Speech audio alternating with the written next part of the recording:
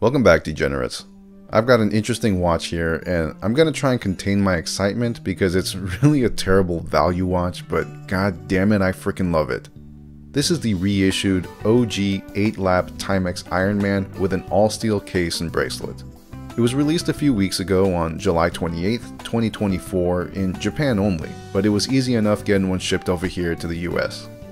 Quick disclaimer, the price is crazy. Retailing at 70,000 yen or around $450, they took a page out of Casio's book and multiplied the price because apparently they think that we think steel is a precious metal. For the record, I don't agree with this pricing at all. I have no intention to try and convince anyone this is worth it. I bought it because I'm a degenerate watch addict, and it piqued my interest the same way free crack attracts people in Washington. You also need to remember that my watch purchases aren't ever logical.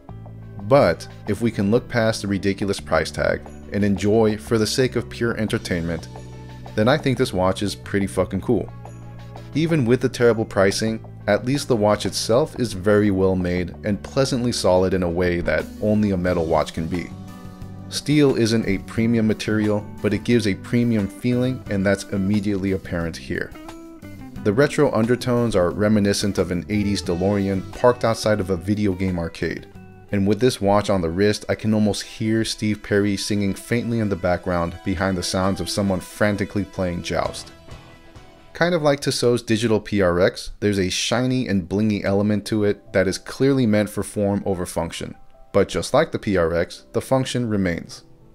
It is an Iron Man, so inside the over the top execution, you're left with a watch that still has 100 meters water resistance, a stopwatch,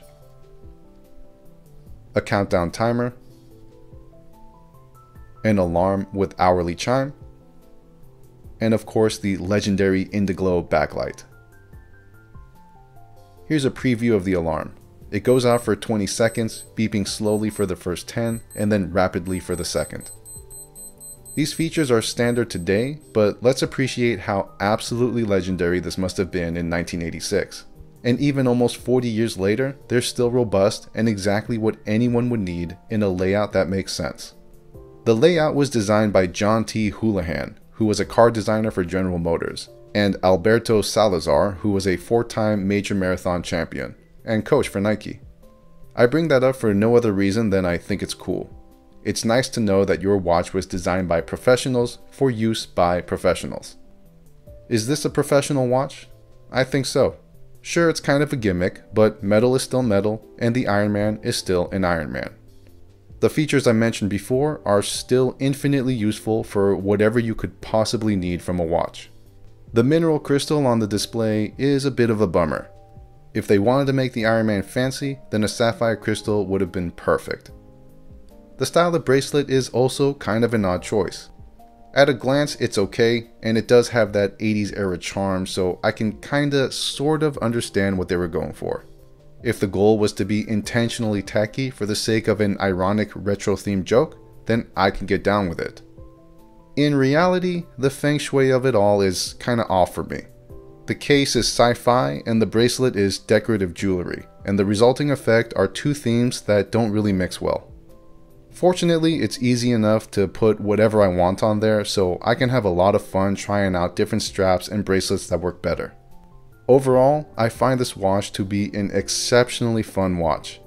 Acknowledging that it's a terrible value, I choose not to care, because I'd rather overpay for steel than underpay for plastic. I know that not everyone is going to think like this, but if you made it this far, then you're probably as much of a degenerate as I am. Either way, I have no regrets here. Any day that I can grow my metal digital watch collection is a good day. But that's all for now. Stay classy. I sure as hell won't.